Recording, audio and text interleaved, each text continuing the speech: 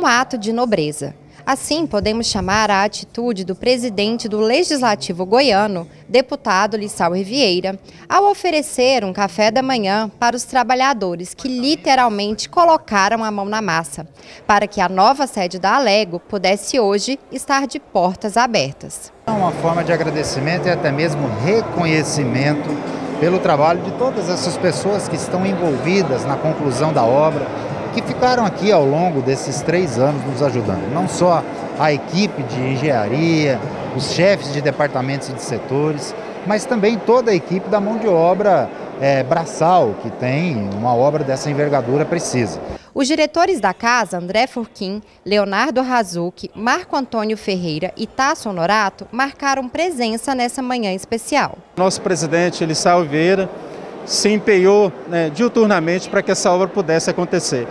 Aí, nesse sentido, nada melhor do que agradecer aqueles que fizeram parte lá na ponta final, lá onde tudo começou, para deixar o prédio hoje em condições de grande parte da Assembleia poder estar trabalhando e recebendo a população de Goiás. Agradecer a todos os colaboradores desta casa, colaboradores durante esse período dessa construção, é, tudo que eles fizeram, tudo que eles demonstraram, a força da mão de obra, do trabalho, do servidor, do povo goiano para concretizar uma obra maravilhosa como essa do Poder Legislativo. O engenheiro responsável e chefe da Secretaria de Controle de Obras e Engenharia falou como se sente ao ver o resultado do trabalho árduo de mais de 500 pessoas. Uma obra grande, um desafio de engenharia muito grande pela complexidade da obra, foram muitos anos e a gente manteve o foco, a meta, é, o pessoal incentivado, né, passando por pandemia.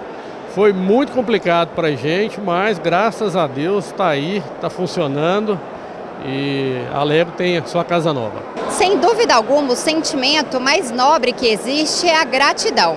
E para demonstrar esse sentimento, o presidente da casa, deputado Lissauer Vieira, anunciou durante o café da manhã uma surpresa para todos os colaboradores que fizeram parte desta obra.